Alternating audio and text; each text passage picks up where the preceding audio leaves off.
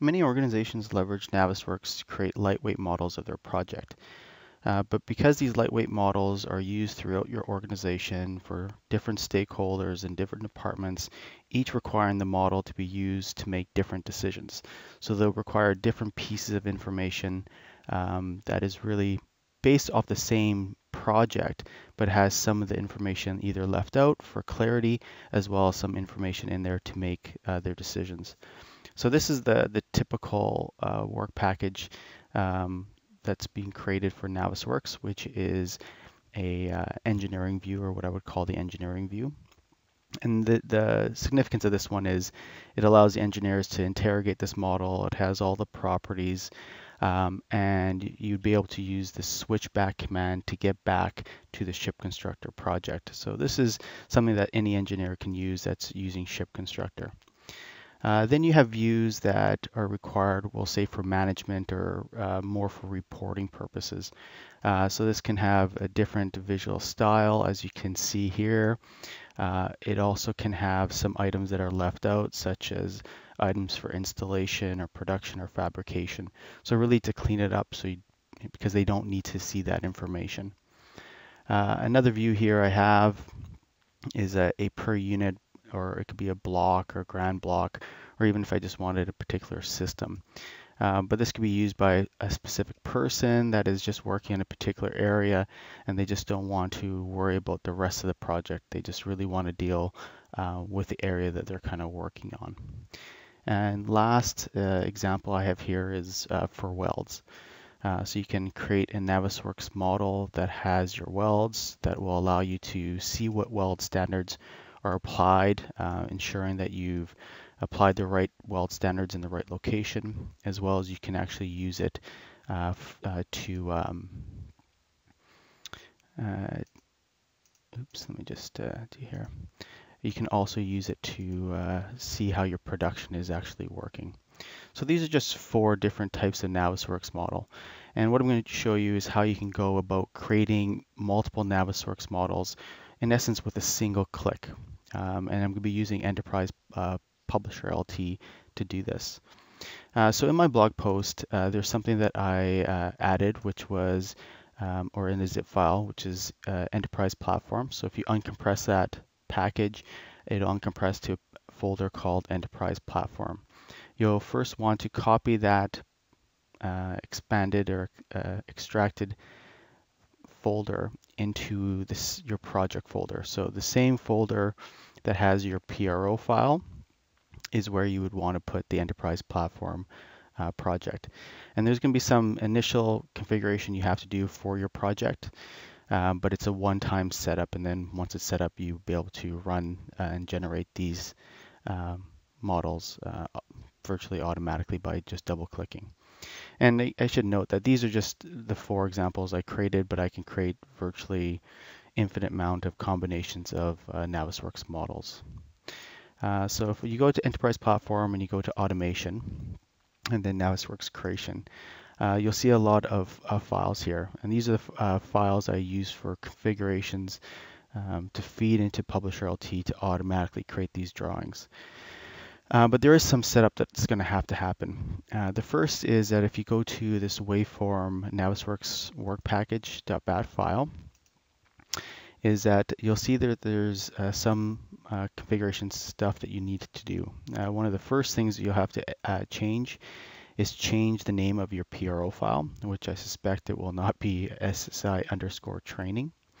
Um, you make sure that it contains the PRO file.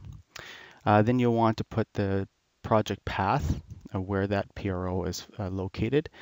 make sure you have the backslash, it is required. And then if you have your username and password, uh, or if you just use integrated um, authentication as I am here, you can change it here.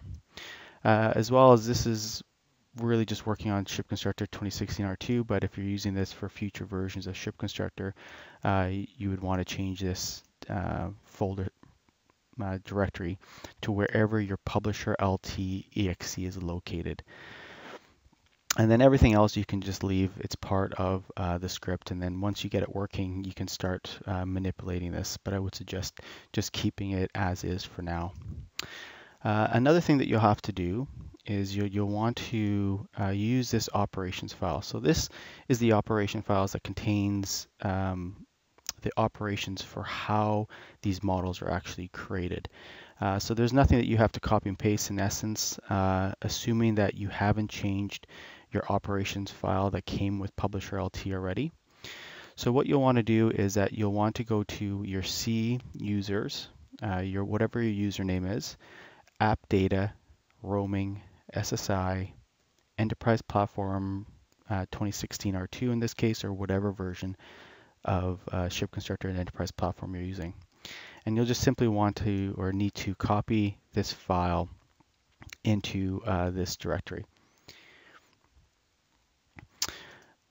Uh, once you do that, uh, there is some modifications that will have to happen in this operations file. So if you again go and you edit this file, uh, the only thing you really need to change is that I am using uh, Navisworks, um, it's called the File Tools Task Runner to generate the Navisworks file. And you'll just want to make sure that this is pointing to your right Navisworks version. So I'm using Navisworks uh, 2016, so I just keep it as 2016. If you're using 2015 or 2014, you would have to change it, uh, as well as if, you know, if this is in the future and you're using this for 2017, you'll want to change that to 2017. But that should be all that you'll have to do uh, to edit it.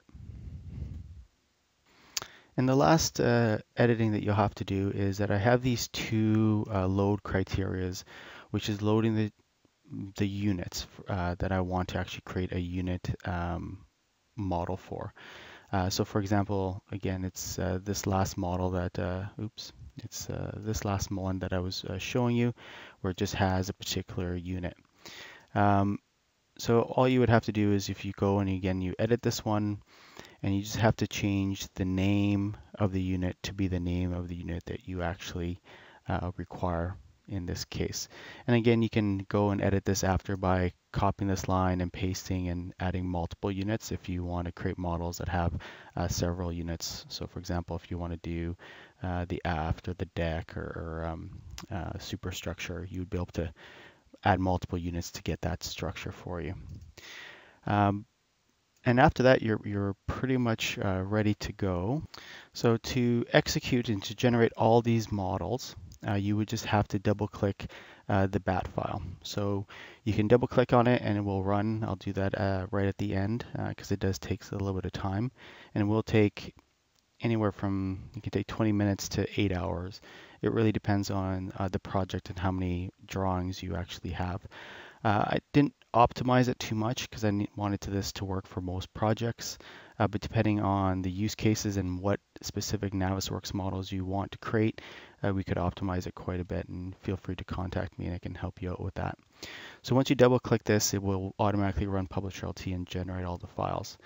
Um, where the files are located is in your root directory of your project. Um, it will create a file or a folder called published files. Uh, and in there, it will uh, create another folder called automation and then Navisworks generation. And then these are the four Navisworks or the four folders that creates these Navisworks models. So they're actually creating different Navisworks models based on the same project. Um, and you can go and you can uh, look at the output uh, eventually when it actually generates it. So the, the key with this is this is just where I'm generating it now. I'm generating it all under published files.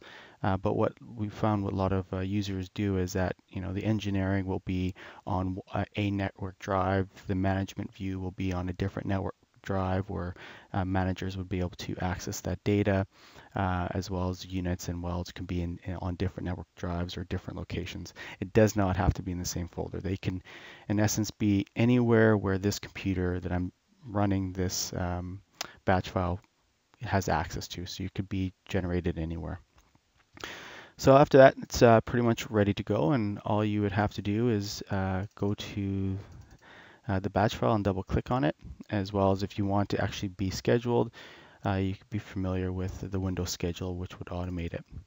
So if I double click it, what you'll see is uh, this command window that will go and will execute a couple of lines, and you'll see Publisher LT come up uh, several times, and then AutoCAD will run as well several times. Uh, so again, the process takes anywhere from 20 minutes to um, even about six, eight hours, depending how large your project is. Hopefully uh, that was useful. Thank you.